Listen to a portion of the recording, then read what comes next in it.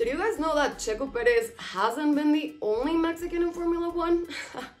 I know, it's a bit hard to believe, but there has actually been a lineage of other Mexican drivers in this category. Don't miss this video to find out more. Hi guys, and welcome back to my channel. With you, Manena Manotu, and today I'm going to be talking to you about the Mexican drivers in Formula One before Checo Perez. Mexican drivers have been in Formula One almost since the beginning of the category once it became official. We have several drivers that have actually been very well known. In the case of our circuit name, Autódromo Hermano Rodriguez, this was named in honor of two brothers, which I'm going to be talking to you about very shortly. So, the first Mexican driver in Formula One was Moises Solana. He only lasted eight Grand Prix.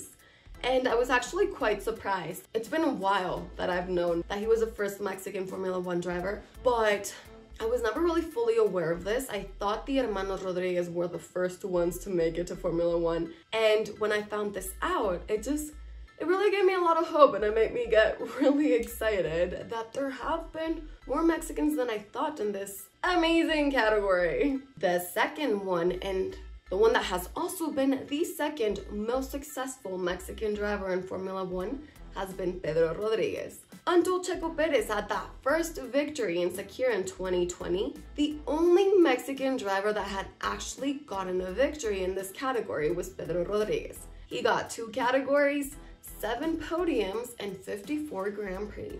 He was a promising talent, but unfortunately he died during a Grand Prix practice. Then came his brother with an even shorter career than him, only seven Grand Prix, and he also died during a Grand Prix practice. These two brothers became really successful because there were high aims with them as to being some of the most successful Mexican drivers in motorsports.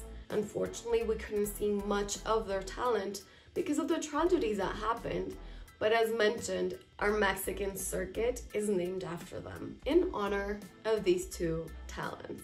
Then we have Hector Rebaque with 58 Grand Prix, in which he made 13 points. This is the most recent Mexican driver from the old ages of Formula One, in which, I mean, he's still alive, and I believe he's quite young for having made it to Formula One in like a few years ago.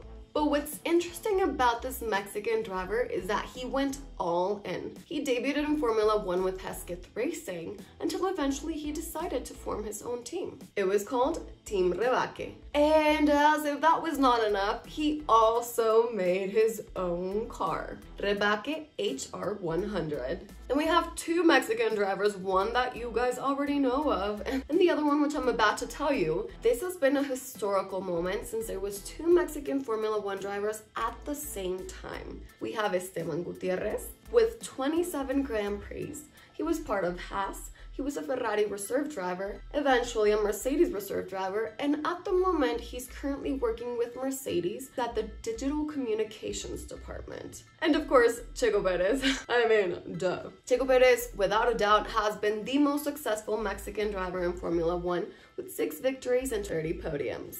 But the real question here resides in the following. Who will be the next Mexican driver in Formula One? Will it actually be Pato O'Ward, whom is having such a successful career in IndyCar, and I don't really think McLaren will want to risk it and take him out of there, because he is putting Arrow McLaren in such a high standard.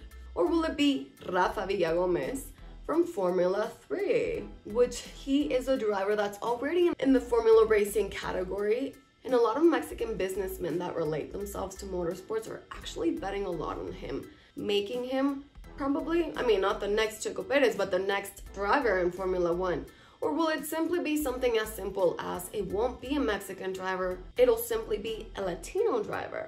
Felipe Drugovich counts. So what do you guys think? Who will be the next Mexican or Latino driver in Formula One?